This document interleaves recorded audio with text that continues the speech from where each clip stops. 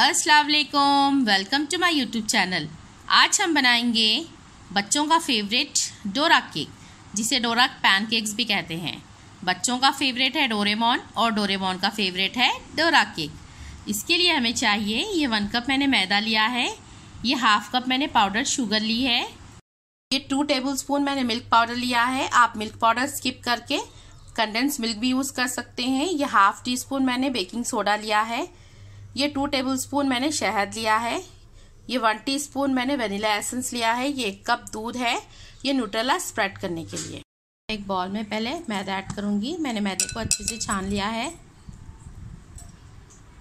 अब मैं इसमें ऐड करूँगी पाउडर शुगर इसमें ऐड करूँगी मिल्क पाउडर अब मैं इसमें ऐड करूँगी बेकिंग सोडा इसमें थोड़ा थोड़ा करके मिल्क ऐड करूँगी और इसे अच्छे से मिक्स कर लूँगी।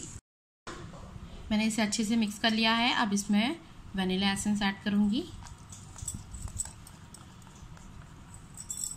देखिए, ना ये ज़्यादा थिक है, ना ये ज़्यादा पतला है। हमें ये बैटर ऐसे ही चाहिए। अब मैं इसे 15 मिनट्स के लिए कवर करके रखूँगी। डोरा केक आप मेज़रमेंट स्पून से भी बना सकते हैं। मैं ये स्पून से डोरा केक बनाऊँगी। डोरा केक बनाने के लिए मैंने एक फ्लैट तवा लिया है। अब हम इस पर डोरा केक बनाएँगे। फ्लेम पे तवा रखा है। हम इसमें एक एक करके हमारी पैनकेक डालेंगे।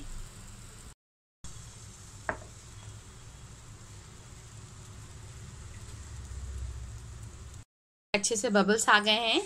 ये डोरा केक एक साइड से बन गया है। मैंने टू मिनट्स रखे थे इसे। अब मैं इसे फ्लिप करूँगी। मैंने दो साइड भी टू टू मिनट्स पकाया है।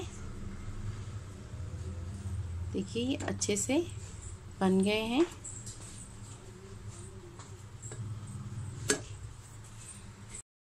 अब सब पैनकेक्स रेडी है। अब मैं इस पर न्यूट्रेला स्प्रेड करूँगी। हम न्यूट्रेला स्प्रेड करेंगे। चाहे तो आप जैम भी स्प्रेड कर सकते हैं। देखिए, हमारा डोरा केक रेडी हो गया है।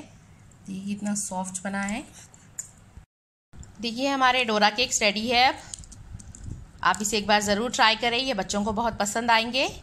अगर आपको मेरी ये रेसिपी पसंद आए तो प्लीज़ लाइक करिए शेयर करिए सब्सक्राइब करिए।